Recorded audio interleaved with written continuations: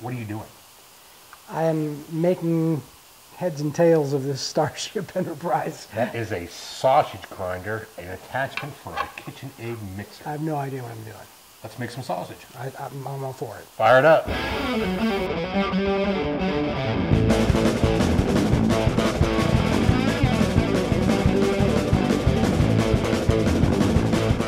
From the birthplace of American barbecue, GrateTV is here. Here we go. Hey, the come- show that's about a beer in length, Corona. and we're taking it indoors. You know, it's, uh, Undercover. it's cold outside, and uh, when the cold weather comes around, it's time to go inside. Barbecue guys can't cook outside. It's super cold. Cheers. Happy holidays. And we're happy holidays, and we're talking about grinding meat. Mm-hmm. So we should be undercover. Yeah, we should be inside when we grind up the meat. One of the, you know, we're lucky here in the South because we get the great weather, and we'll trade out these days right now because it's getting up into the, you know, in the low 60s or high 60s, low 70s during the day for us. So we trade these days out for those scorching days of summer when we just are sweating like crazy outside. And we don't have much room to complain either. We really, we really don't shouldn't complain, but you know, most of the country is blanketed in ice and snow right now. So the barbecue experts have got to have something to do besides barbecuing because you know there's snow on the on the cookers out there. So there's a couple things you can do with cold, right? Yeah, so you know the, the, the we did this, the cheese because we wanted to take advantage of the weather, and we can come inside and we can grind up sausage. Of course, we're going to have pork butts around anyway. Pork butts make great barbecue, but pork butts also make great sausage. Really? Yeah. Is that like one of, why is that better than, say, the ham portion? Because the fat content in the shoulder portion makes for a better fat content for the sausages. As a matter of fact, if you want to, if you could get a little bit of extra fat, maybe when you got a full Boston butt, a whole Boston butt's about eight or nine pounds. If you get a pound of fat from your butcher, uh, you know, when they're trimming up the pork chops and stuff like that, if they'll sell it to you or if they'll give it to you, I would even add that into what we're doing as far as sausages go, because a lot of what happens with sausage and the moisture is all about the fat. Well, when it comes, what about beef? I know Beef we're is- doing pork, but I mean, could you beef do is beef brisket is the same sausage? way. Is yes, thing? you could, but- and there's a lot of good fat on a brisket to be able to mix up with that. In fact, a brisket makes about an 80-20 mix. But the the same the same cut on a on a cow is the chuck. So when you're if you're going to grind beef sausage, you're going to make sausage out of beef. Use chuck because there's good fat in it. Okay. So the first thing we need to do is figure out how to put our grinders together. Most grinders are the same. This was a new thing, so we're talking. This is KitchenAid. and Probably a lot of people have this. Yes. Bill's lucky to have the KitchenAid mixer. I have. I'm lucky to have a grinder that I use um, straight up. Either way is fine. There's a lot of horsepower in here. When you're talking about a grinder, you want to get one that has good quality parts and has some horsepower to be able to grind. So. Um, the first thing you need to do is put your worm gear in. You've got that fixed in there. Get it all the way in there. That's what that's called, through. worm gear? That's called a worm gear. Right. And then I'm going to just go ahead and put my my uh, stand on here. But after you put your worm gear, you need, you need a knife next. Your knife is a little star-shaped thing. Next. Should be down in the, in the- and that goes out with the square piece. And my knife is going to put my worm in here. And then my knife. And then to start with, you always use the coarse blade, and the coarse blade's going to be the one with the bigger holes in it. I have one that has triangles. You have one that has holes. No big deal. Line it up with the notches, and then put your collar on. You've got a nice little uh, wrench that uh, KitchenAid gave you. You, may, you want to make sure that's on there good and tight, though. All right. Yeah, I'm sorry. All the rules. It's all about uh, safety and sanitation. Sanitation is big in sausage. This is brand new, and There you go. That's good. but it is all clean, dishwasher safe. Okay. And that goes in there straight on in. You may have to take your little, take this piece out a little bit, unscrew it. There you go. Straight on in there until it seats right in. Watch your beer on the end of the table. Make sure you don't uh, spill all over the place. There you go. Crank it in good and tight. beard. Keep it right here safe. That's right. All right. All right, we're, the grinders are set up and ready to grind. On the KitchenAid mixer, they, it's a combination grinder uh, pusher, so that actually goes in there. This grinder has a, a piece that goes along with it. This is a stuffer, and we'll use this a little bit later on, Okay. I have one over here. And so here's the more fine. Right, that's the, the more fine blade. All right. So we got to cut some meat. You said cube it. Cube it. We're gonna make it. We're gonna we're gonna take it down into one-inch cubes. Let's get our pork butt out of the out of the refrigerator. We want to make sure we keep it good and cold. We want to make sure we keep all of our equipment sanitary because we're grinding. So this is a pork butt, and it's a boneless piece. And all I'm gonna do is take this and cut it up nicely, easily. I don't know how sharp those knives are. And this is, this is, this is actually the way that the butchers make pork steak. They'll take a Boston butt and they'll cut it up like this. Sometimes they'll take these and cut them this way or cut them once this way. They'll make country fried or country chops. And Sometimes you'll see those uh, um, country style pork chops in the, in the um, case when you're going in. A lot of times that's all about. Basically, we're just cubing. Yeah, we're just going to take it and cut it up nice. Get it into small chunks because the hole up here is small, right? So we want to make sure that we're able to get the, the meat in down in that hole. So yeah, you're wanting Yep. about that. About an inch is what we're going to do.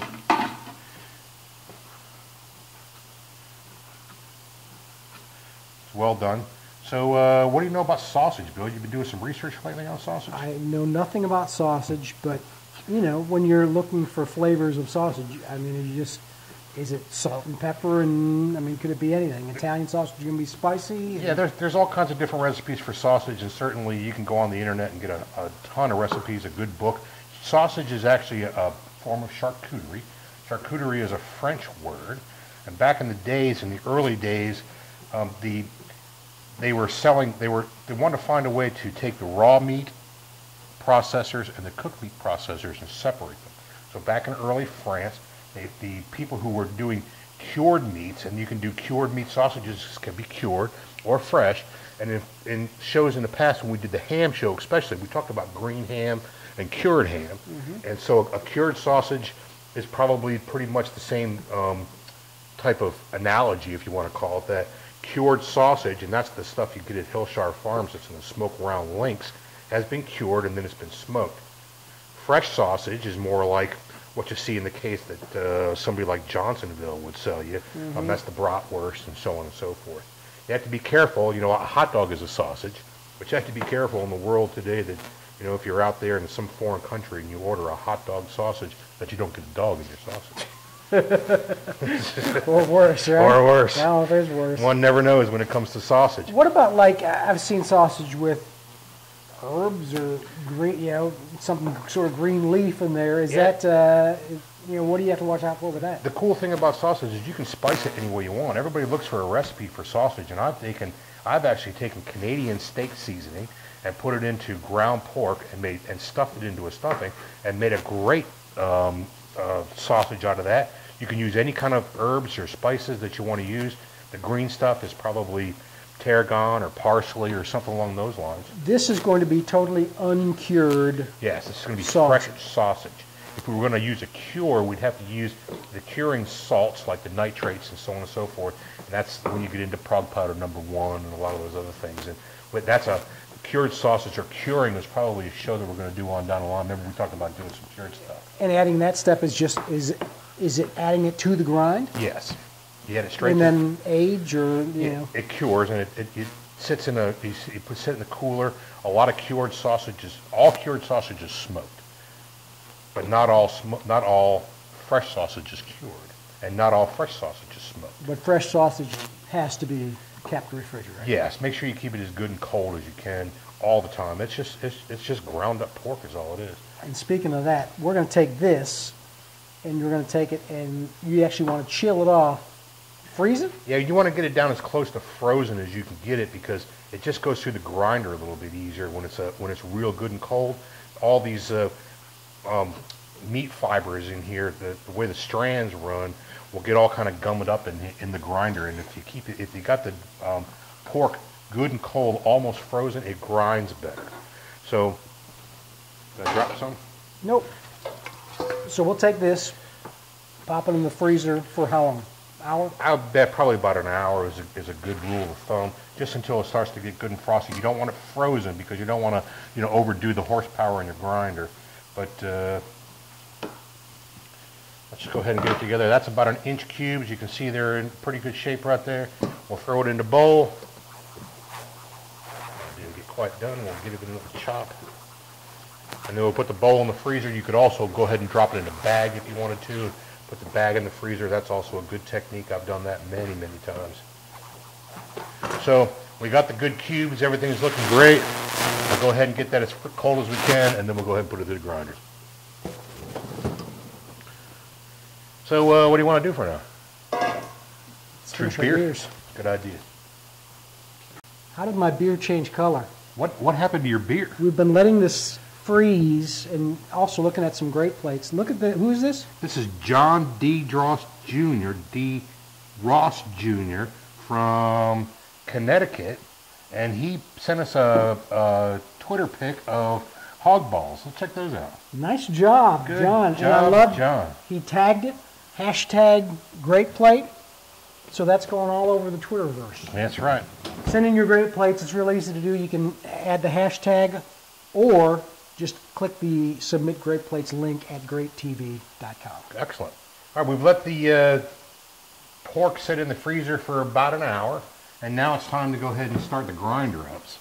So I'll tell you what, I'll grind half in this one, you grind half in that one. You use your little pusher here. Which one's the Oh, gloves. Gloves. Use this pusher here to go ahead and get it put through. I don't know how loud these are going to be on uh, on camera, but we'll find out in just a minute. And that's one of the big things is cleanliness, right? Cleanliness is next to godliness, that's for sure.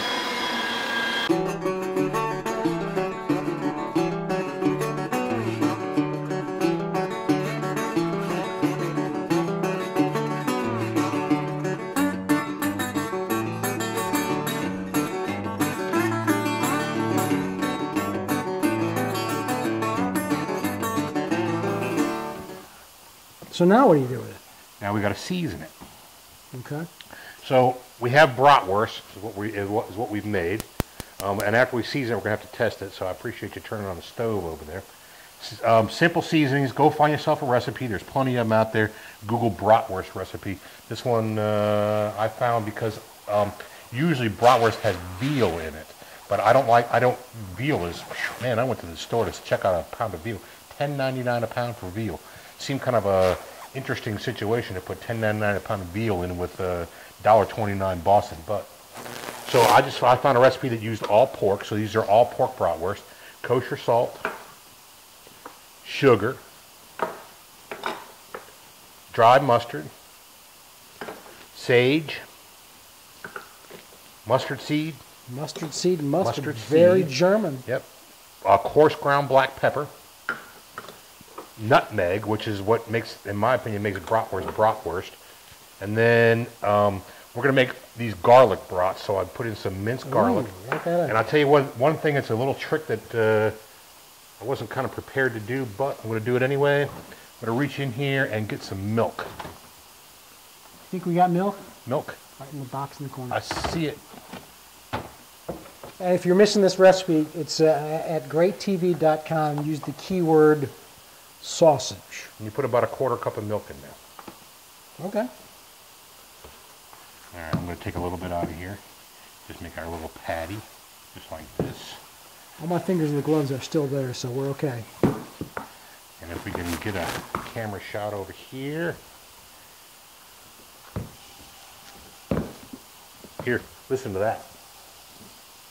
So what we're doing is we've got the seasoning in here. Let's test it before we make 20 sausages. That's right. And before decide get we don't like the mix. So we don't like the mix. So it's just a smart way to be. And this is just to kind of test and Just see. all we're doing is testing the seasonings to make sure the seasonings are good. This is a bratwurst recipe. Bratwurst recipe, it's a bratwurst patty. Looks great to me. Oh yeah. That's dynamite. Mm-hmm. I say we go ahead and grind it and stuff it. What do you think? That's it. Go get Let's it. do it.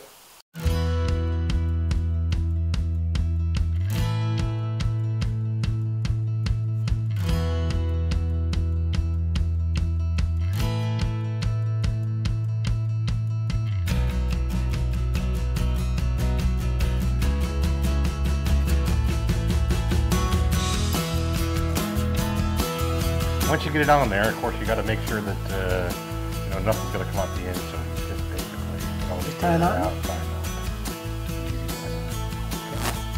Then you kind of take the end of your knife because there's air in here. Uh, I'll, use this fork right here. You just kind of put a little hole right there because you want to let the air kind of drain out, right?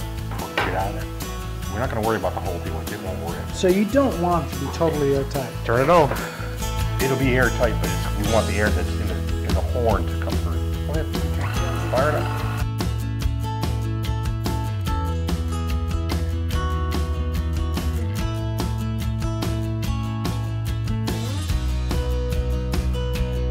And you just kind of fill it up to the size and length that you want. Just kind of let it cruise on through. And it'll come out of there. It takes it a minute.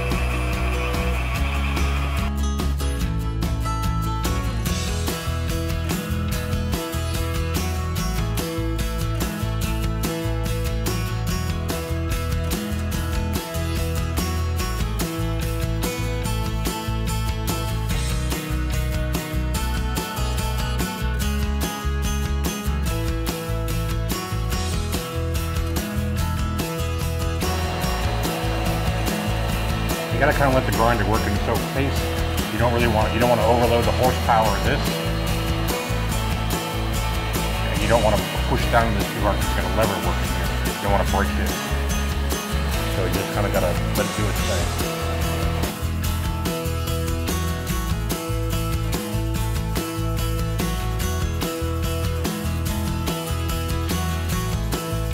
Alright, so that's about And all we do is, sometimes I'll put a, a measure down on here, but I don't think we really need to do that. You pitch them.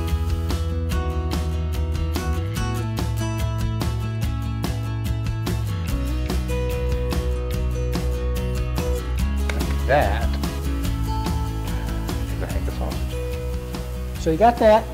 Then you take it, throw it to the grill, like we did earlier, and you have this. Doesn't that look fantastic? So let's sample our wares. I think we should. You want mustard? It's bratwurst. Absolutely.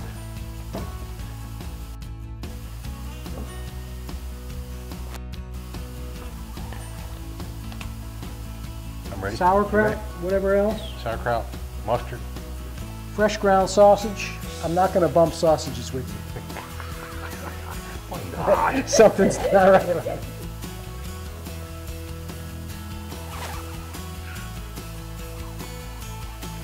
Buy local, think global, stay sustainable, and every chance you get, make sausage hug your mama. Over.